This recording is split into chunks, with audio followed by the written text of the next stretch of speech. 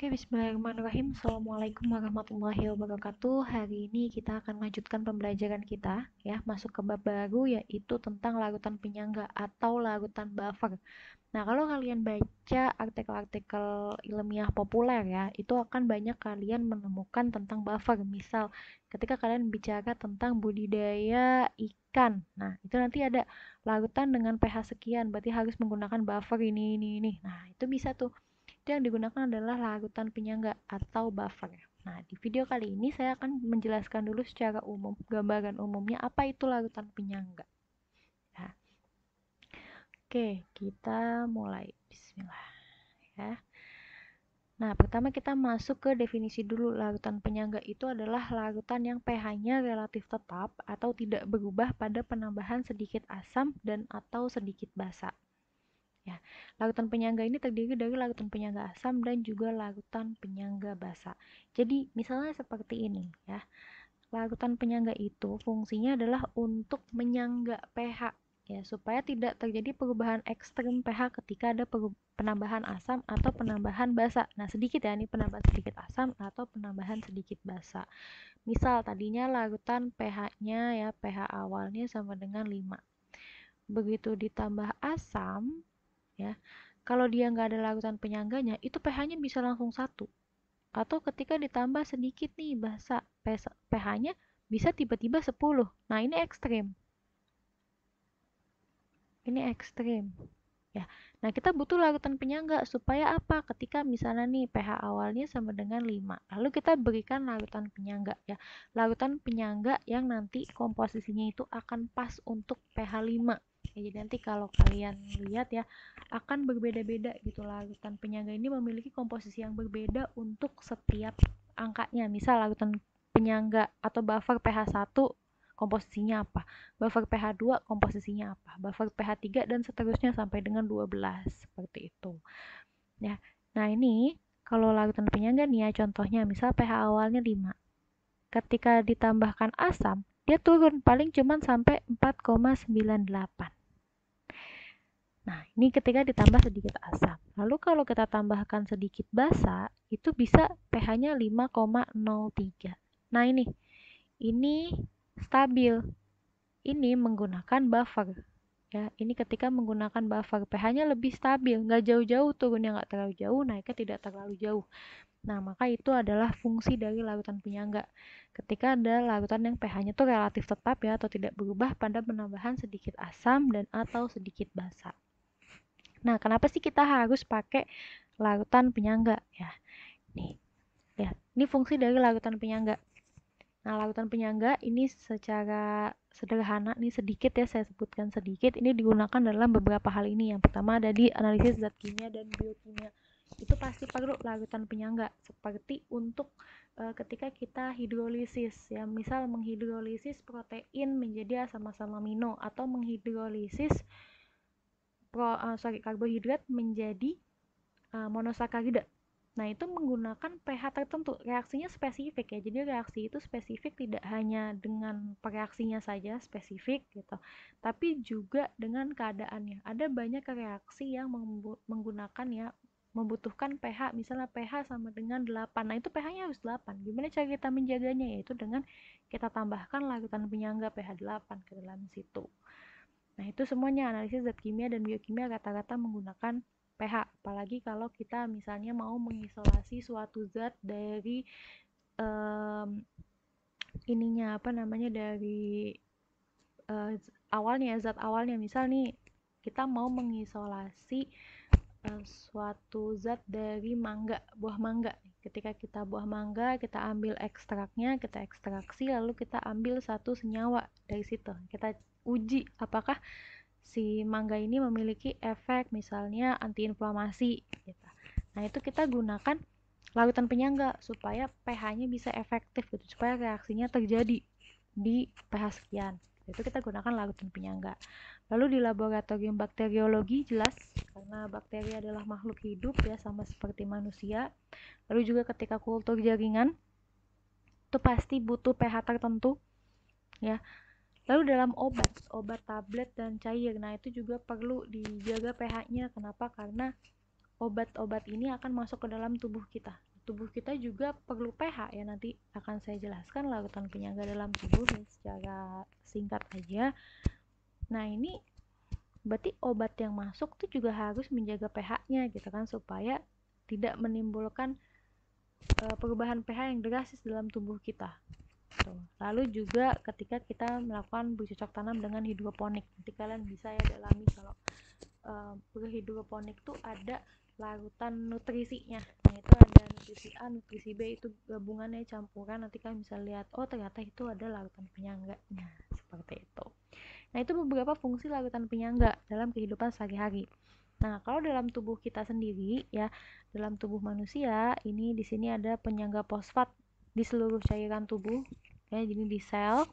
Lalu ada penyangga karbonat di dalam darah ya dan juga penyangga hemoglobin di dalam darah. Kenapa sih harus ada larutan penyangga di dalam tubuh kita? Ya kenapa? Karena dalam tubuh kita nih kita memiliki uh, pH optimal ya. Untuk masing-masing enzim ya enzim sebagai biokatalisator dalam tubuh kita itu memiliki pH optimum. Ketika pH-nya berubah enzimnya nggak bisa jalan. Enzimnya tidak bisa berfungsi. Berarti akan ada fungsi yang berbahaya nih. Ada fungsi yang nggak jalan dalam tubuh kita. Itu berbahaya jelas tubuh kita ya. Nah makanya ada larutan penyangga dalam tubuh yang berfungsi menjadi keseimbangan pH tubuh atau menjaga keseimbangan pH tubuh ya terdapat pada cairan intrasel dan cairan ekstrasel misalnya darah dan air liur. Nah itu tuh kalian udah tahu nih berarti oh di darah ada di di air liur. Kita pun ada larutan penyangganya tuh. Nah kenapa harus ada larutan penyangga? Karena kalau nggak ada larutan penyangga tubuh kita bisa mengalami yang namanya asidosis dan alkalosis Ya, asidosis ini adalah penurunan pH darah yang disebabkan oleh metabolisme tubuh yang terlalu tinggi karena DM. DM ini penyakit, kalian ada yang tahu DM? Ini adalah diabetes mellitus. Ya, ini diabetes mellitus. Bisa juga disebabkan oleh penyakit ginjal ya atau diare atau konsumsi makanan yang berprotein berlebihan Nah, protein itu memang bagus ya untuk tubuh kita, tapi ketika berlebihan ya segala yang berlebihan itu kan nggak baik. Nah, itu juga ternyata memiliki efek gitu. Ada efek bisa terjadi asidosis atau penurunan pH darah. Nah, ini jelas berbahaya untuk tubuh kita ketika pH darahnya turun. Ya, atau asidosis. Asid ini ya, asidosis diambil dari kata asid ya. Asidnya ini kan asam, berarti terjadi penurunan pH darah. Nah, ya nanti kalian cari tahu berapa pH darah yang optimal dalam tubuh kita. Selanjutnya, di sini ada juga alkalosis atau kenaikan pH darah yang disebabkan oleh hiperventilasi karena sedikitnya kadar oksigen di lingkungan dan gas karbon dioksida yang dilepas terlalu banyak. Nah, ternyata selain ada asidosis, ada juga alkalosis. Alkalosis dari kata alkali, ya, alkali itu adalah basa. Nah, ini bisa menyebabkan kenaikan pH darah karena hiperventilasi karena sedikitnya kadar oksigen di lingkungan. Itu berbahaya ya ketika kita kekurangan oksigen. Itu bisa menyebabkan alkalosis. Makanya ada juga orang-orang yang bisa kan kalau misalnya nih terjebak di dalam satu ruangan sempit itu bisa keracunan gas karbon dioksida atau kekurangan oksigen. Nah, itu menyebabkan alkalosis, makanya itu juga bisa fatal efeknya bisa menyebabkan kematian. Seperti itu. Itu di sini ada penjelasan ya tentang larutan-larutan penyangga yang ada dalam tubuh manusia. Yang pertama itu darah. Nah, darah ini ada penyangga karbonat. Ini sistem karbonatnya ya ada H2CO3, HCO3- ya ini gambar darah ya.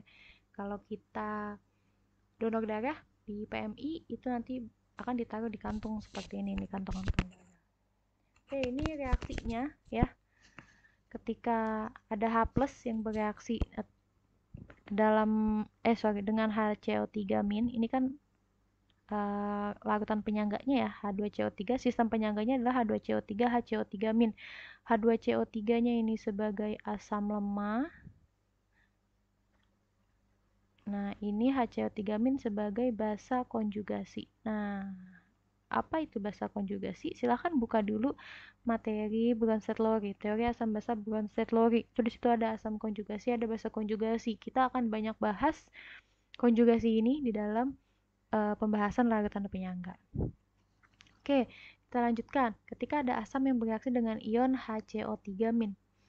Nah, ini untuk menjaga agar kadar H2CO3 tetap dalam darah, maka diubah menjadi gas CO2 dan dibuang oleh paru-paru.